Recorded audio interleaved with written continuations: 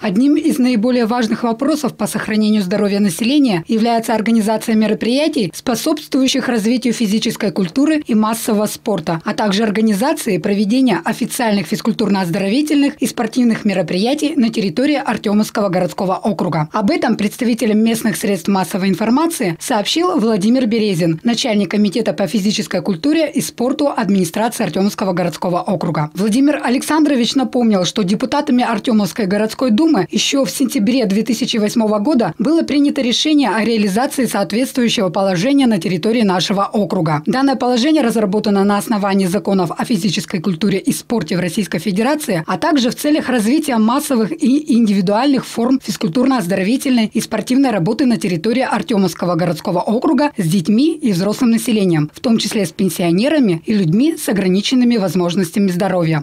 Для решения основных задач и направлений развития физической культуры и спорта были разработаны и реализовываются муниципальная программа Артемовского городского округа по реализации регионального компонента приоритетных национальных проектов в сфере физической культуры и спорта в Артемовском городском округе на 2012-2014 годы.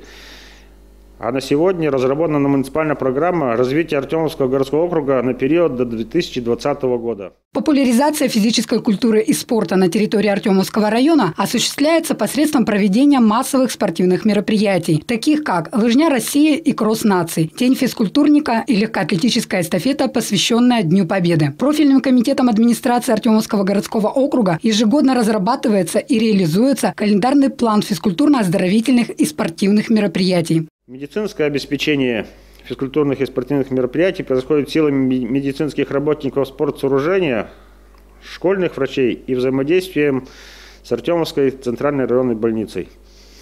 Общественный порядок поддерживается путем взаимодействия с отделом внутренних дел по Артемовскому району. Здесь они нам никогда не отказывают, всегда идут навстречу по нашим письмам, либо по постановлениям администрации Артемовского городского округа. Для участия в окружных, региональных и федеральных соревнованиях в нашем округе существуют команды по различным видам спорта, которые формируются по результатам муниципальных соревнований и командируются за счет средств Комитета по физической культуре и спорту администрации Артемовского городского округа. Субъектом физической культуры и спорта, осуществляющим свою деятельность на территории Артемовского городского округа, оказывается помощь в приобретении спортивного инвентаря и оборудования, проведение спортивных мероприятий за счет средств комитета. Работа по развитию физической культуры и спорта ведется в двух направлениях. Физкультурно-оздоровительная спортивно-массовая. Так, к примеру, в 2015 году проведено 402 спортивных мероприятия, в которых приняло участие 47 223 человека-участника. Чтобы было понятно, объясню, цифра кажется большая. В нескольких соревнованиях может принять участие один человек. Цифра реальная, настоящая. В рамках этих мероприятий проводятся спартакиады среди школьников, воспитанников дошкольных учреждений, а также спартакиады в загородных оздоровительных лагерях и лагерях дневного пребывания. Артемовский городской округ постоянно принимает участие в спартакиаде Восточного управленческого округа. Комитет по физической культуре и спорту ежегодно проводит шесть физкультурно-оздоровительных мероприятий среди людей с ограниченными возможностями здоровья. В 2015 году на базе МБУ «Фотосигнал» создан Центр тестирования по сдаче нормативов конкурса ГТО, который ведет по данному направлению активную работу.